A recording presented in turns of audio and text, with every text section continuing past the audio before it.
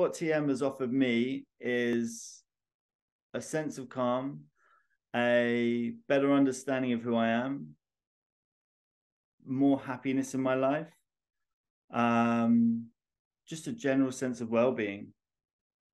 And not that I didn't have it in the first place, because I'm a very upbeat, generally happy person anyway.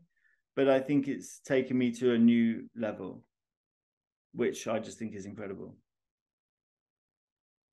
I think for anyone that's skeptical about whether they they're still deciding on whether they're going to you know try it or not, um, I would definitely recommend having your introduction session, just to like hear from a teacher who can really better articulate than I can the benefits of it, um, but just to see whether it's for you or not. I mean, you know, you you've got nothing to lose fundamentally, um, and really everything to gain. So that would be the advice I would offer